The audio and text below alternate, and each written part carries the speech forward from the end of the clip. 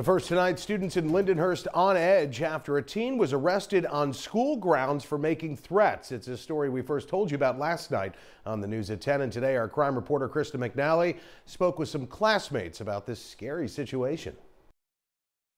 That's right. Suffolk police telling us a teen has been arrested for threatening to detonate an explosive device here at Lindenhurst High School. Students we spoke with today on edge after learning that one of their classmates was arrested for this type of threat.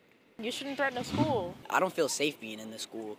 Like, I don't feel safe being anywhere anymore. I feel safe, but I feel like you shouldn't do that. Like just to joke around, it's not like the right thing to do. Suffolk police say over the last month, a 15-year-old male student made several threats, not only to set off an explosive device, but also threatened to carry out other violent acts against staff and students at Lindenhurst High School. It's very disturbing, and I'm sorry. I have four, four daughters that are grown now.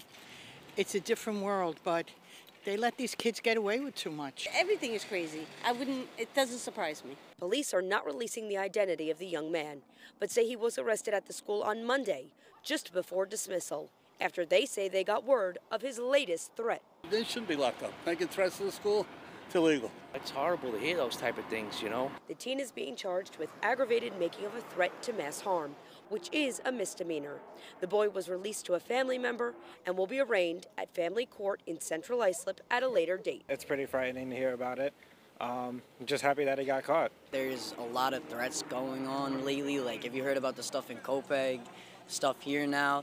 Like, it's just going crazy lately. Like this, the, the world is turning crazy now. The Lindenhurst superintendent sent several messages to families within the district. The most recent one stated that there was never an active threat towards the high school. Rather, it said that there were text messages that were brought to the district's attention. They were sent more than a month prior to yesterday's incident. That's the latest from Lindenhurst. Krista McNally, News 12, Long Island.